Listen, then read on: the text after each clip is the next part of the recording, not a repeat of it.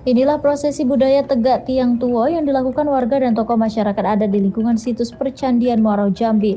Kegiatan budaya Tegak Tiang Tuo tersebut dilakukan sebagai awal dimulainya pembangunan mega proyek revitalisasi kawasan cagar budaya nasional atau KCBN oleh pemerintah pusat melalui Kemdikbudristek RI sekaligus pembangunan museum kebudayaan yang tak jauh dari kompleks situs Percandian Muarau Jambi. Kegiatan budaya Tegak Tiang Tua ini selain disaksikan Gubernur Jambi bersama tokoh masyarakat Muaro Jambi, juga dihadiri Direktur Jenderal Kebudayaan Kemendikbudristek RI Hilmar Farid.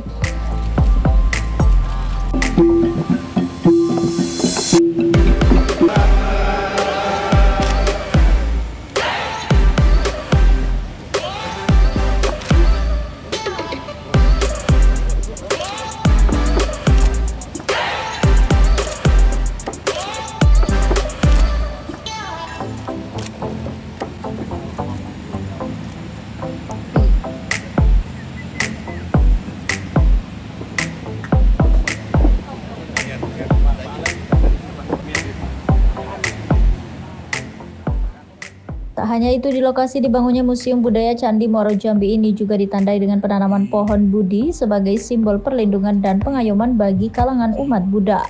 Sementara itu, Dirjen Kebudayaan Kemendikbudristek RI Hilmar Farid mengatakan pembangunan Museum Budaya tidak akan mengganggu keberadaan situs Candi Muaro Jambi, termasuk penataan lingkungan di kawasan Candi Muaro Jambi sendiri tak kurang hingga 7 km lebih.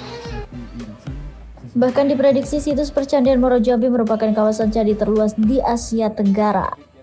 Aman kita bangun gitu ya, tapi yang penataan lingkungan nanti yang ke timur nih. Itu uh, dan kita pertahankan itu uh, karena reruntuhannya itu juga diikat sama tanaman, tapi kita pertahankan itu uh, konsep penataan lingkungannya seperti itu. Jadi kalau di total keseluruhan ini nanti saya kira bentang panjangnya itu sekitar 7 km dan kalau lebar masuk ke dalamnya kira-kira satu km gitu. Jadi itu luas cukup luas dan saya boleh bilang ini adalah situs uh, Buddhis terbesar di Asia Tenggara.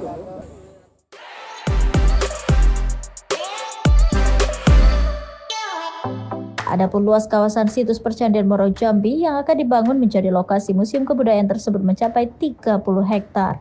Kontributor BTV Novel melaporkan dari Kabupaten Moro Jambi.